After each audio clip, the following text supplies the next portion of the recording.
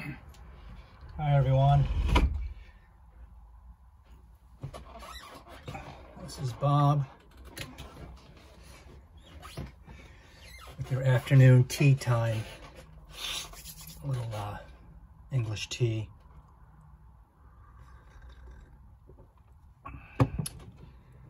And some goodies. Um, yeah, this little chocolate cordial is the reason why I'm doing this video. And we'll see if I could uh, pump this one out here about this here. The Delicious uh, Maison Christian Dior Privé. Um, and I'm gonna express my feelings on why I love this so much. It's not a review.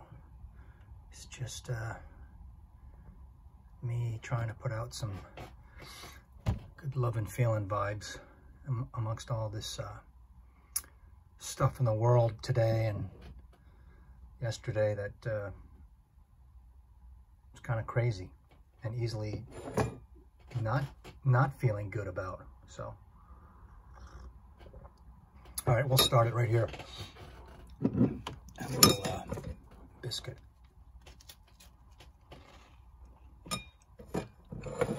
I got this from a friend. She got a box of uh, See's candies. I don't know if you have it where you are, but she's got a whole box of them because her son found out that I like them and uh, she likes them.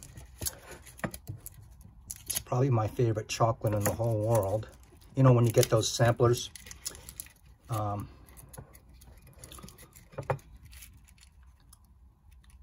bam. When you were a little kid, you, I would uh, hunt for this one first and just eat it. And uh, my parents wouldn't mind. And it's a cherry cordial from uh, See's Candy. So, um, excuse me, I'm just to take a little bite out of this. So that was God's way of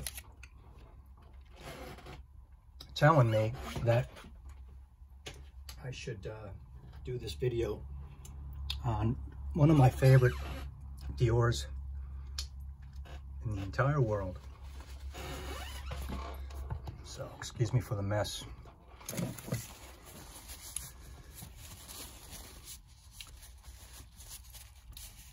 Cherry is one of the main reasons why I love Fève Délicieuse so much, but I don't like cherry in, in, in, in every uh, perfume. I, I, don't like its uh, kind of scratchy harshness and uh, medicinal, but it's not like that here. The Privés are all powdery. This one is overly sweet, and I don't mind that, just as long as it's buffered by the uh, incredible powder that uh, this perfumer puts in there, uh, François Demachy. Um, so this is a gourmand, and I recently told myself it is my favorite gourmand. Uh,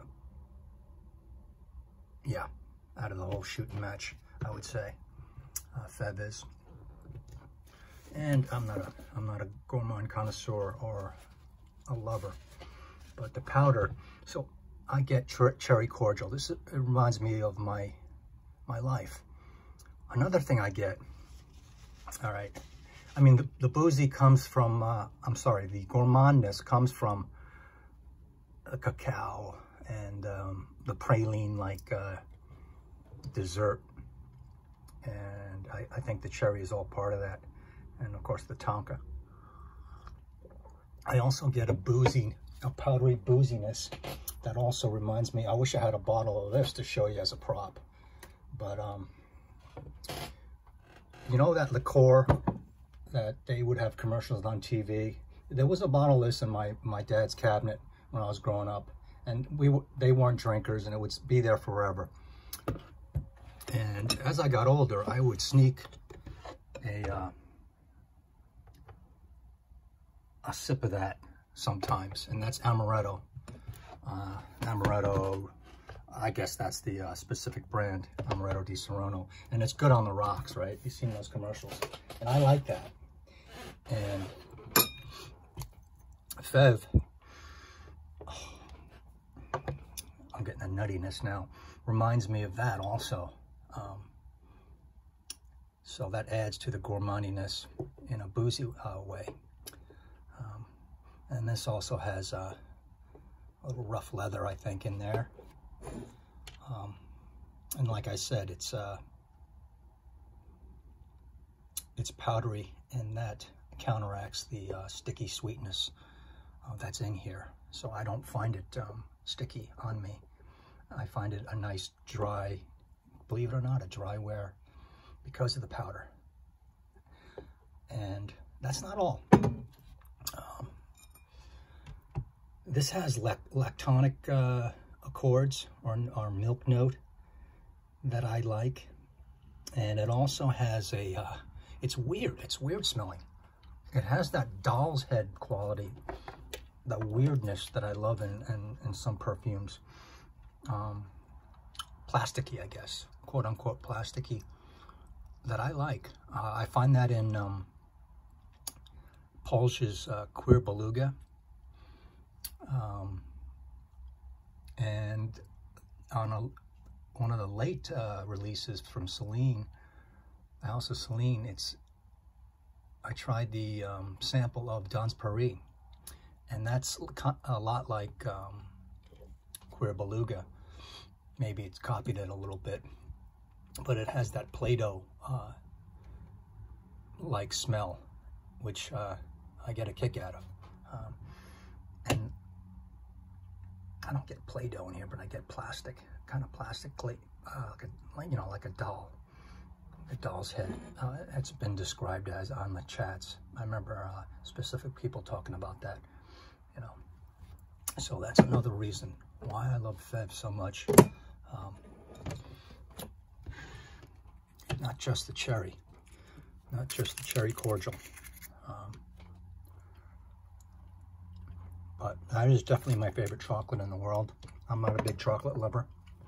I'm not a huge sweets lover. Um, but if you give me a choice for sweets, I'll take uh.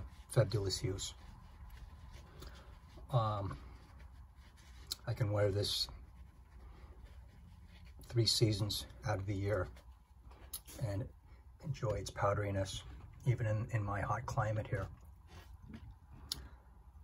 I got this bottle in early 2016, so this thing was uh, this thing was bottled in 2015 probably, and was it, it came out around there, you know. I remember uh, it was my one of my earliest Dior's, this and Ambre Nuit. Um, that was a fun time. I love it because also it's uh, been around with me this long. I liked it when I got it, but not nearly as much as I like it now. And it smells great. Um, and I've gotten feedback on it and people uh, people react to it and they say, yeah, it smells good. Then, then I ask, oh, what do you get? What do you smell? And they, they all say the same thing. I don't, I don't know. So, but people know when they like something, but then they can't uh, express it into uh, words and adjectives like uh, we fragheads like to do. So,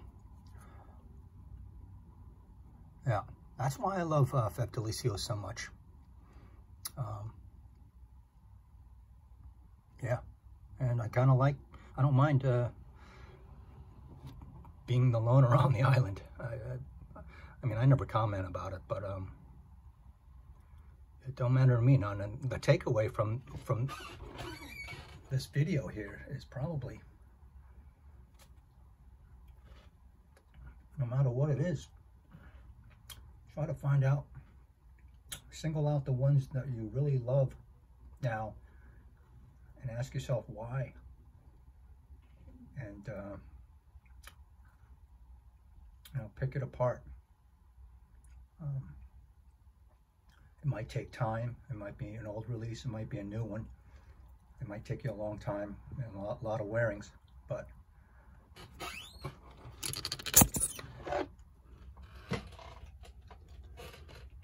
it's good to have something that uh, you really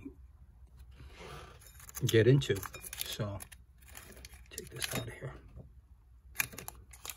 Cherry cordial. What a mess, Bob. So, thanks for uh, hanging out with me on my tea. And I'm glad I had uh, this little reminder to talk about that. Let me know if you've uh, made any recent discoveries that you've had for a while you, you, just love and you know that you always will love. I just wish I uh, listened uh, to that wonderful Dior expert. You know, she was a Dior trained expert and uh, she says, we got a bigger bottle of that too.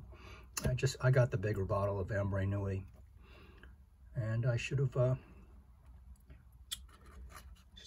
hit myself over the head. I should have got the bigger bottle of this too, you know, but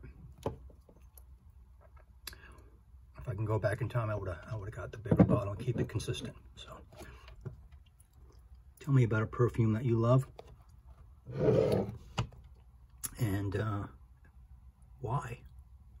Not just because, uh, you know, it's hyped and uh, Tell me about one that uh, is not so popular or loved and that uh, you like. Because uh, it's all about your tastes. And it's like shoes and ties and, and blouses and everything like that. It's it doesn't matter what what the other person likes. You're, there's a there's a billion different kinds of opinions in this world, and this is fashion, and it's uh, your job to find out uh, what you like to wear. So anyway, um, I will leave you here and uh, I will get back to my uh, biscuits and tea. In the meantime, please get back to me and um, write in the space below um, your feelings. Okay? See Sip. Tea.